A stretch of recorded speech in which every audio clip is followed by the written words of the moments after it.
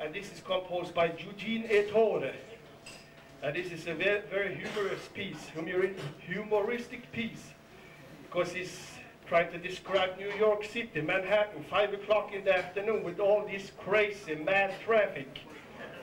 And I think he has really understood that kind of problem in New York and developed this into this really interesting piece. And he has called it 5 o'clock rush.